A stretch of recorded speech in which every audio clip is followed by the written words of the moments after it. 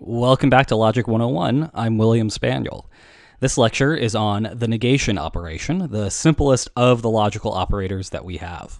Negation is just taking the opposite. So, for example, if we have a simple sentence that says, I am thirsty, and we represent it with a T, then we put a tilde in front of the T. We say that not T to represent the opposite of that statement. I am not thirsty, not T.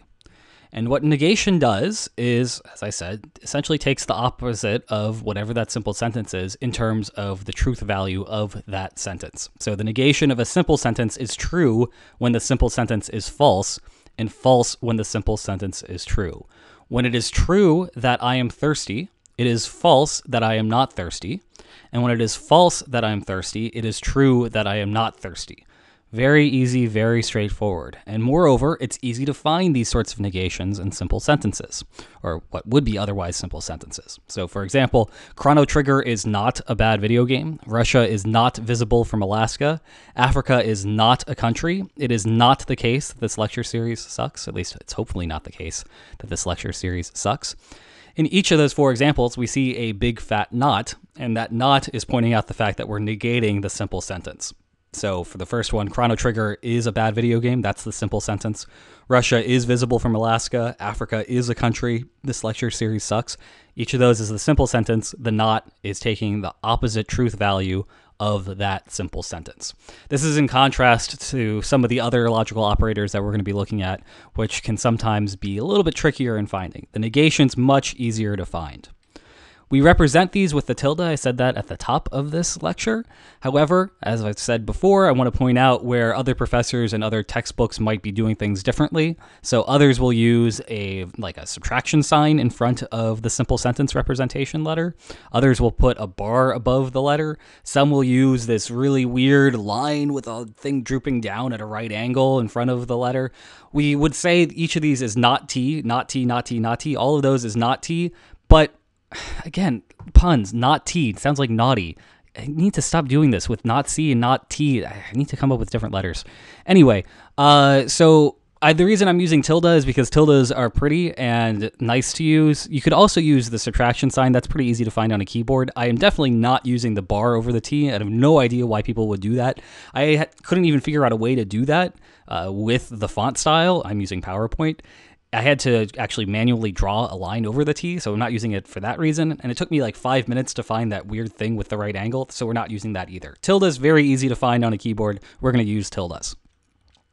Now, someone asked me a couple of lectures ago, why do we differentiate negations from non negated simple sentences? Why don't we just say I am not thirsty is its own simple sentence, and I am thirsty is its own simple sentence. For example, here we could use P as being equal to Africa as a country, and Q as being equal to Africa as not a country. This is not the convention that we're using, right?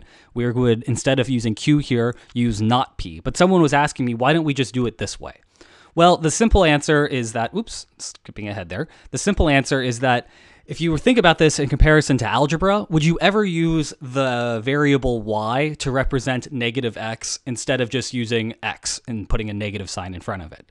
And the answer is, of course, you wouldn't. That would be inefficient, right? Why would you want to introduce an extra variable into your already perhaps complicated equation when you could just take a negative value and throw it in front of an x and not introduce that extra variable? It's the same logic here when you see P and not P, you know that's very obviously a contradiction. If you have P and Q, how do you really know that that's a contradiction? Well, you have to refer back to the fact that Q, Q is the negation of whatever that simple sentence that P represented. In the case before, it was, uh, what was it? It was it was Africa being a country, right? If you remember that Q is equal to Africa is not a country, and you remember that P is equal to Africa is a country, then you know that that's a negation. But that's much more complicated than just saying P and not P. You have P and not P, you know P is the same simple sentence, so you see an obvious contradiction.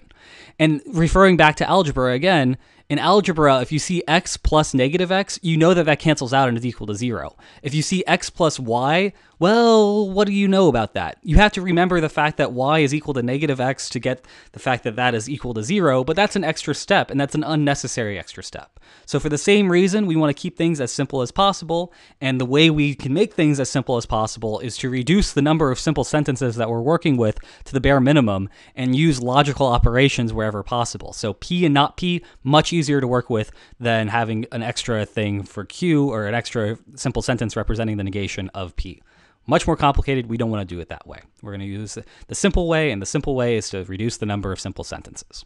So that is negation. Negation is much more straightforward than any of the other logical operators that we're going to be talking about. And when we start getting into the next logical operator, we'll see how negations can interact with other logical operators, and we can get really complex and compound expressions out of that. So that's negation, and I'll see you next time when we go into another logical operation. Take care.